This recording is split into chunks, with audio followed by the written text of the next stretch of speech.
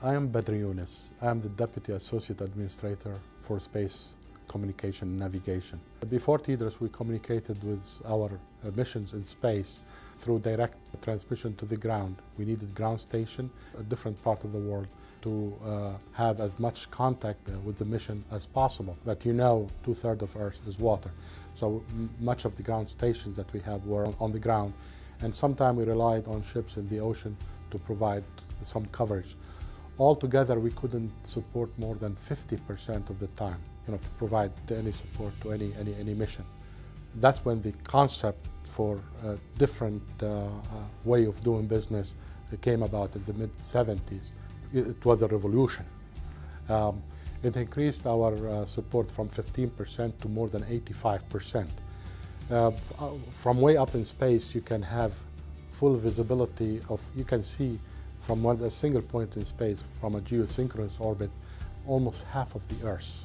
Missions that are flying beneath that geosynchronous orbit, now they relay the data to that data relay satellite and then it transmitted to a point on the ground. So with two data relay satellites, you are providing coverage, you know, like full-time, uh, global coverage to all missions, uh, close to, if not more than 85% of the time the mission needs are, are growing. We are sending humans to deep space. We are seeing uh, the requirements and the communication needs growing exponentially as opposed to today. And NASA has decided to establish a permanent presence in the solar system. And as you send the humans into deep space on a journey that may take up to three years, even more than that, you need to still provide them the kind of quality of life that they learned or uh, they have been accustomed to on the space station or on the ground. So you'll need to expand the bandwidth available to them. I have made a commitment that communication will not be a showstopper in enabling future uh, uh, space exploration. The whole thing is, has been a team effort.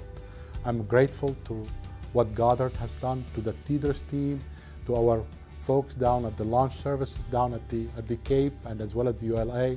Boeing has done a wonderful job and readying a very capable spacecraft. And this is go going to help us in meeting the requirement in the 2020s and the early 2030s. It's helpful that NASA allows you to be creative, innovative, bring crazy ideas, you know, out of the box ideas. We are all driven by that uh, curiosity, by that uh, spirit, trying to discover and, you know, the unknown. That's what NASA is all about. It's a place for dreamers and for those who believe that they can make the dream come true.